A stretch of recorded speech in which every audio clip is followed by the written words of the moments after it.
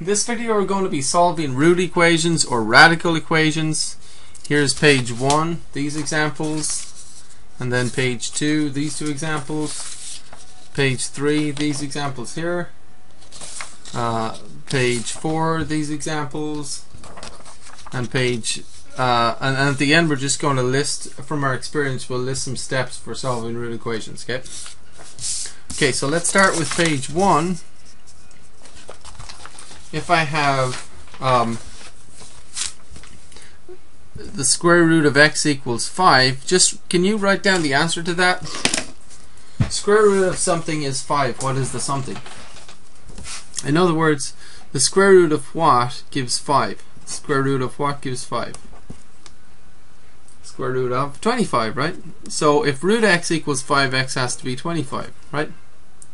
Now, that's one way of solving it is just to guess it and it's fine for these. But once we get to these ones it might be a little bit hard to guess. And so a method we have for these is to actually get rid of the square root so how would you get rid of a square root on both sides of an equation?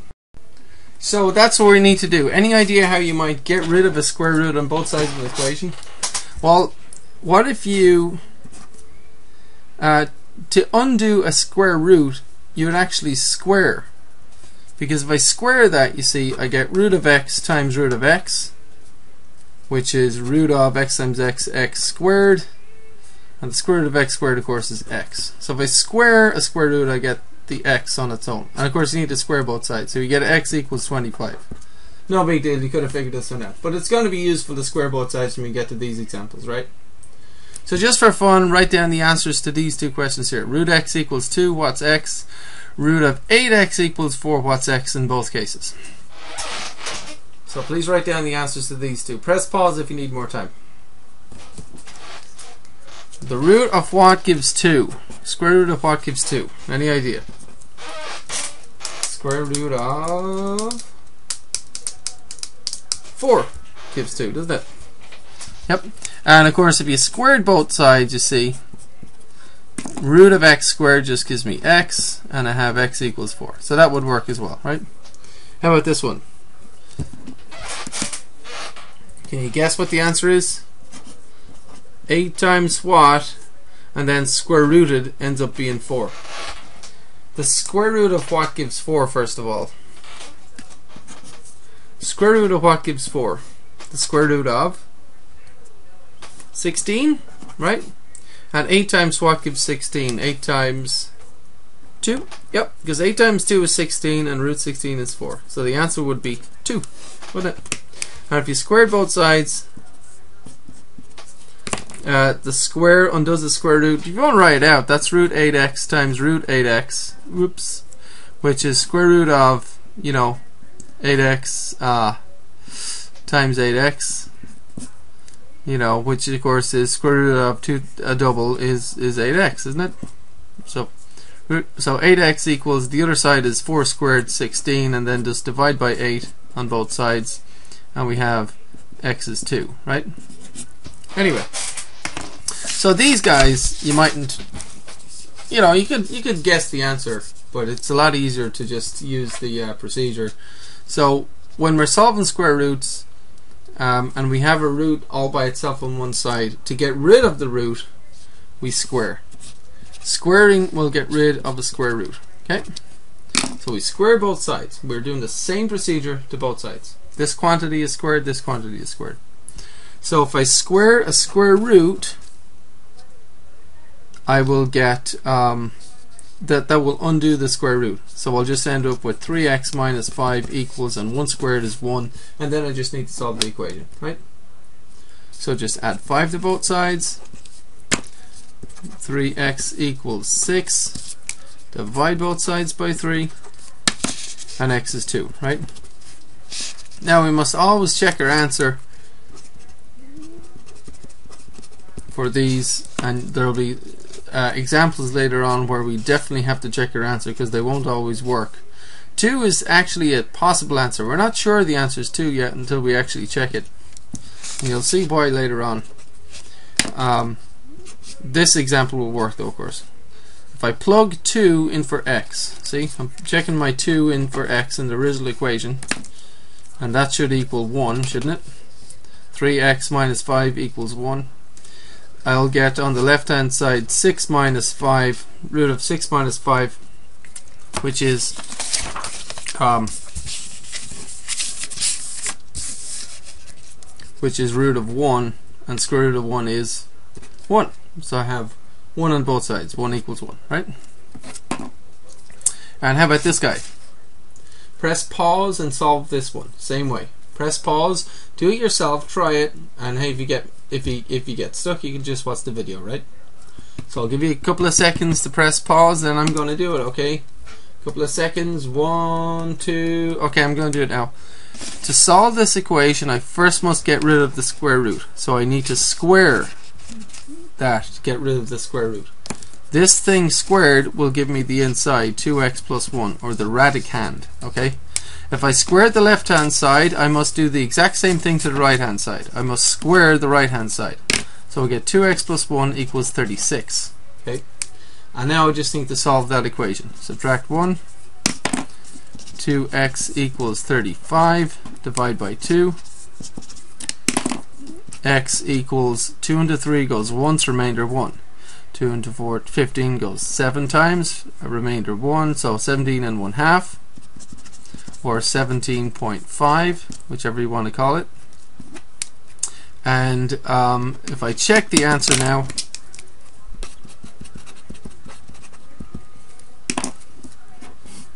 Root of 2 times x plus 1 must equal 6. I'll plug in 17.5 okay? So that becomes 2 times 17.5 ends up being 35 so I have root of 35 plus 1 which is square root of 36 which is 6 right so we have 6 on both sides draw a smiley face you got the right answer okay so this is true. X is 17.5. This one was X equals 2.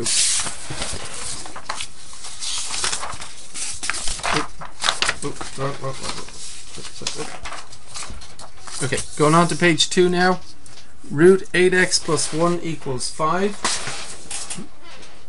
What should we do here? We don't have a square root on both sides or a, we don't have a square root by itself on one side. So what should the first step be? Okay, so um, any idea? Well, I hope you notice that the square root, right, it stops at the x. It does not continue to the 1, right? So this 1 is all by itself. Now, wouldn't it be so nice if we just did that? Subtracted 1 from both sides? Because if we did that, we ha would have root of 8x equals 4. See that?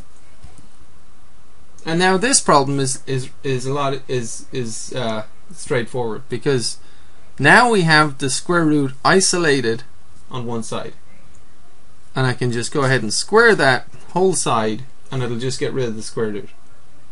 And of course, I need to square this side too, right?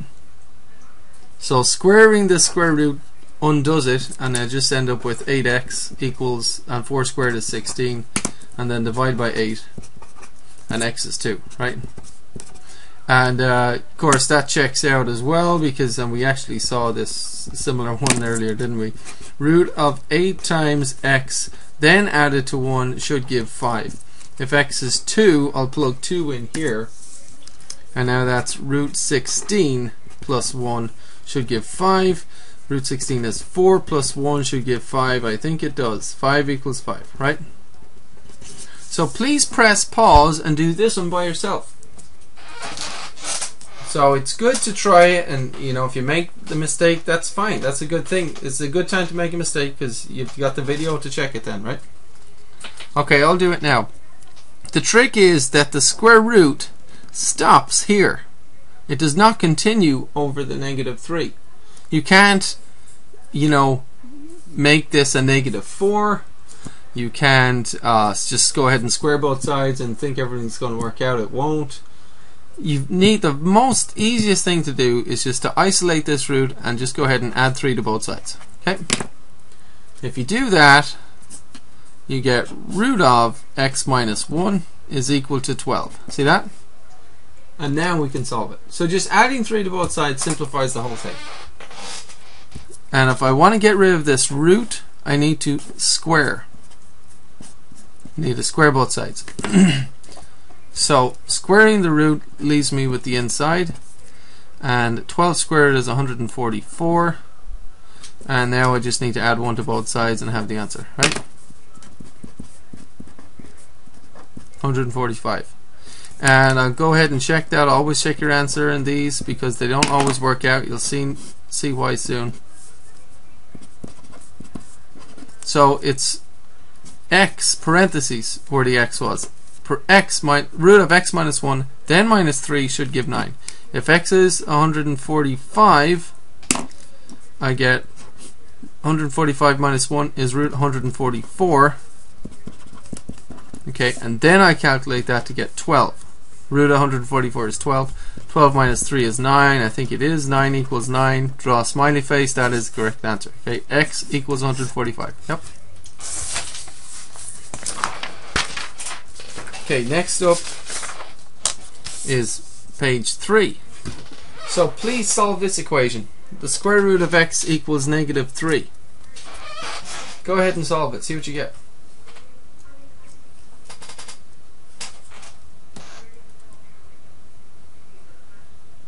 If you were to guess, what would you come up with?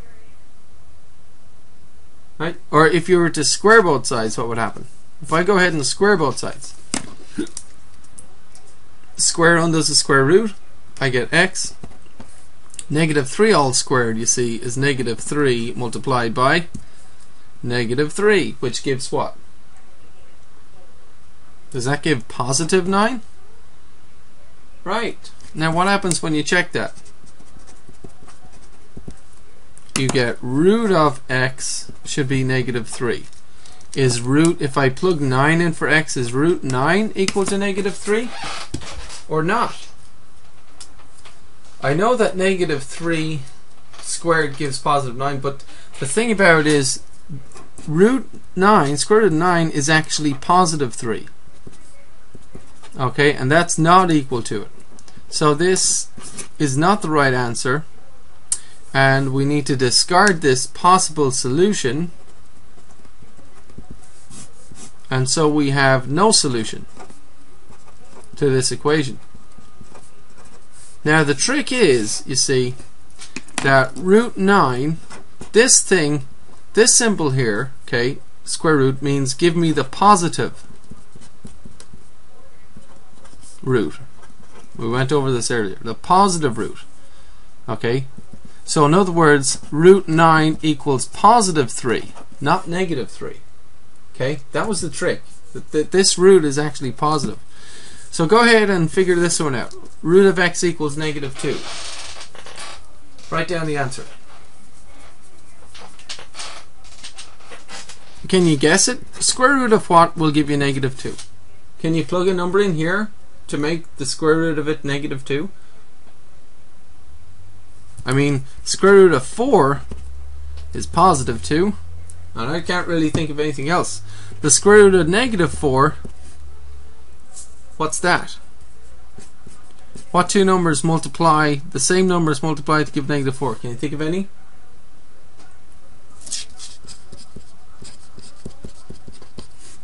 Negative 2 times itself doesn't give negative 4, it gives positive 4. Right? So negative 2 won't work. Um, negative 2 times positive 2 gives negative 4, but hold on a second. That's not, that can't be, it has to be the same number, right? So square root of negative 4 is no real number. You can't get the root of a negative. Uh, and so, you know, 4 doesn't work because it's 2. Negative 4 doesn't work because root negative 4 is no real number. So the answer is there's no solution. And you could try and solve it like we did up here and you'd find there's no solution. So if we're doing something like this, because it's a square root equal to a negative, you might be able to write down, hey, there's no solution. But you got to be careful with that because when we're doing cube roots equal to negatives, that's going to be a different story. You'll see that in the next page. Most likely you won't remember and you'll go ahead and square both sides like always, which is fine. As long as you check your answer, you don't have anything to worry about. If you check your answer in all of these root equations, including the cube roots, which we're doing soon, if you make sure you check your answer, then um, you can just go ahead and do all this, the procedures you like. And if your answer works, it works. If it doesn't, then you can just say there's no solution and discard that answer. Okay. So if I square both sides, I get x plus 4 equals.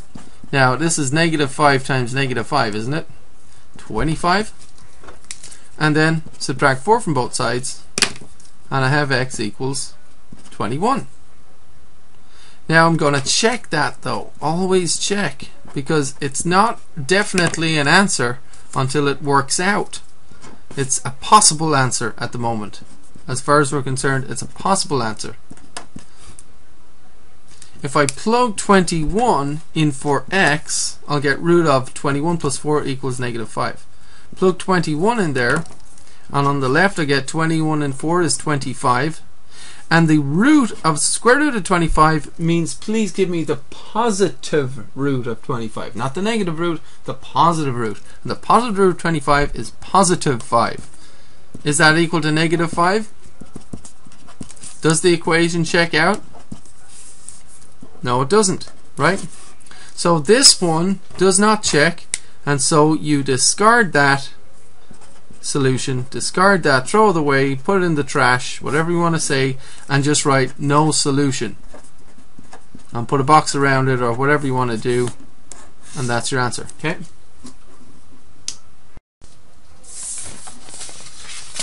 Now moving on to page 4, we're going to look at cube roots. Okay? And these are different again. If you have cube root of x equals negative 2, your brain might say, oh, there has to be no solution because you can't have a root equal to a negative. Well, is that a, is what do you think? Is a cube root of anything equal to negative 2? Can you think of an answer?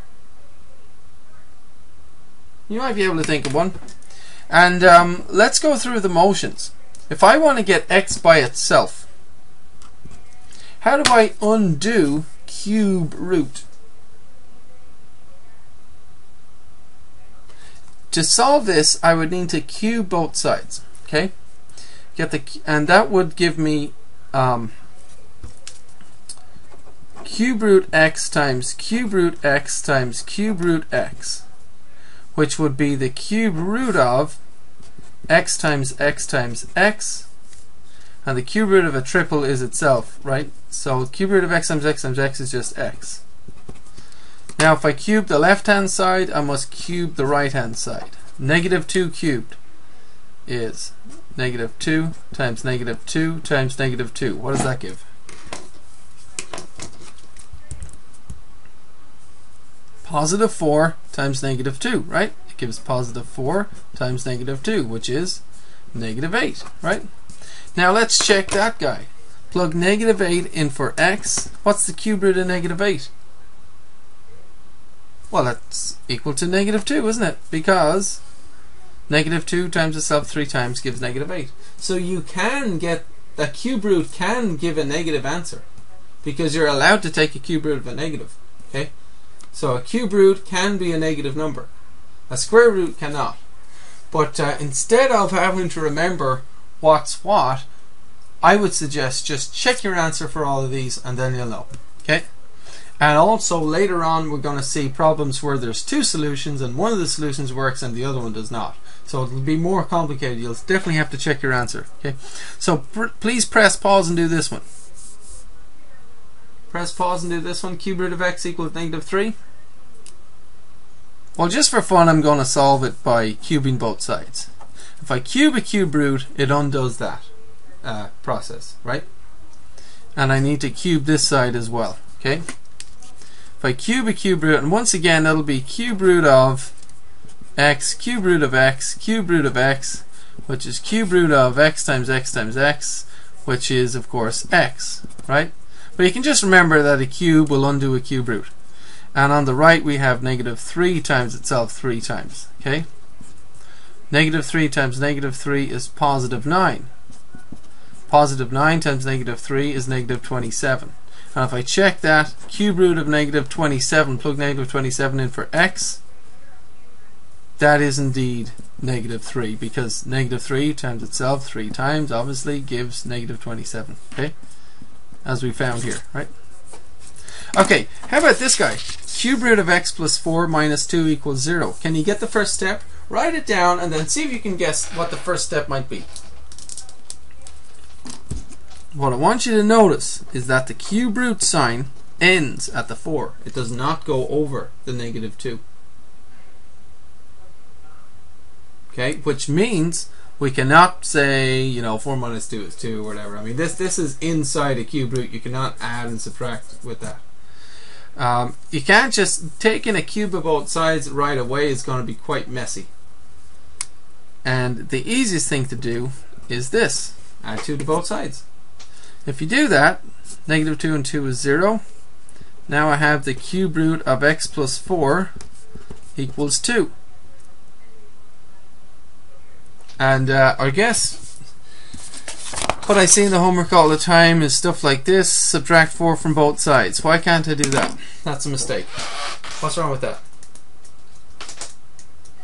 This number 4 is not really the number 4 all by itself.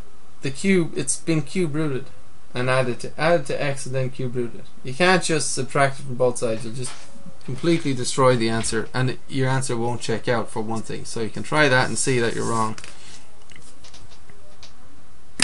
um, so what we need to do is cube both sides. And if I cube a cube root it undoes it. And so I just have the inside. And 2 cubed is 2 times 2 times 2 which is 8 right? And then subtract 4 from both sides and x equals 4. Now, I don't know for sure whether that's the correct answer or not, so I need to check. Or if that even works.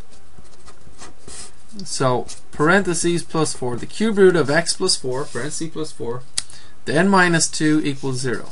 Minus 2 equals 0. So I write out the first equation, not the second one or the third one, the very first equation, just to make sure you didn't, just to check whether you made a mistake anywhere. Right at the very first equation, plug in your answer of 4 and calculate this. Now I have to get the cube root of 4 plus 4, which is 8, minus 2, then minus 2, and that should equal 0. Okay? What is the cube root of 8?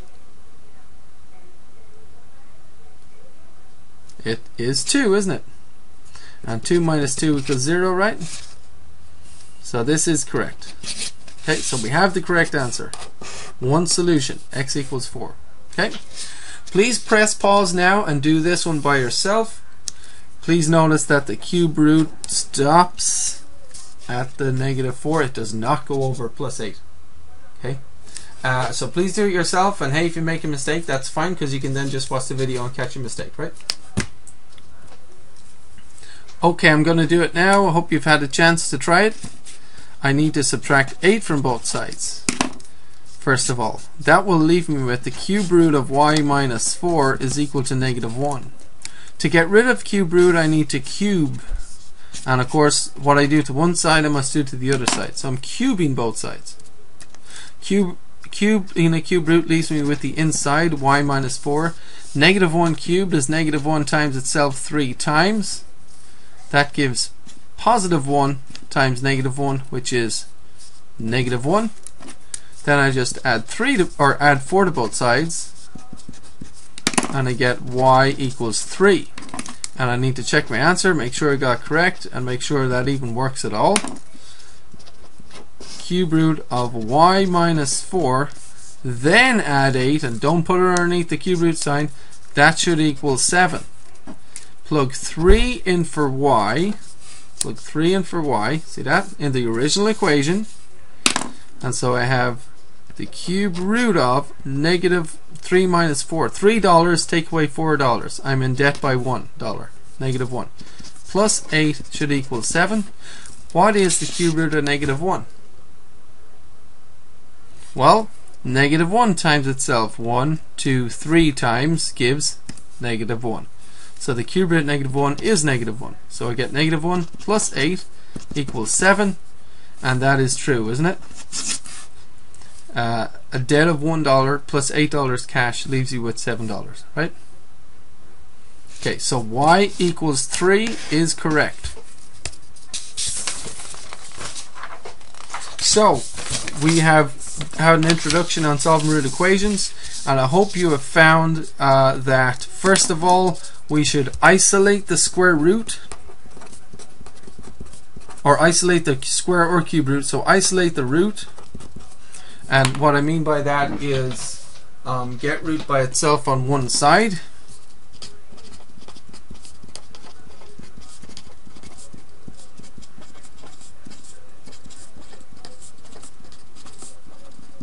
So please write this out and keep it beside you for uh, reference. And so that's like the first step here was we uh, subtracted 8 from both sides, right? Or added 2 to both sides here. That was the first step. So we isolated the root and then we square or cube both sides.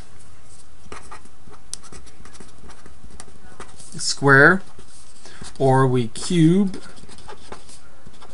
both sides.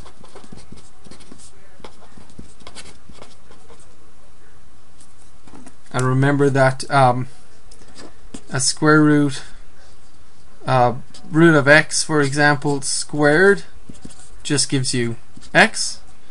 Root uh, cube root of x cubed for example would just give you x right? So the cube cube root square cube gives gives the inside and a square root uh, square root squared gives the inside right?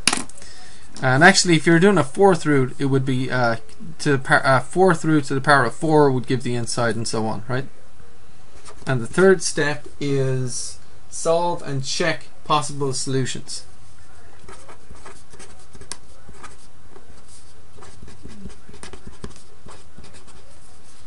Check the possible solutions because we're not sure whether these are really going to work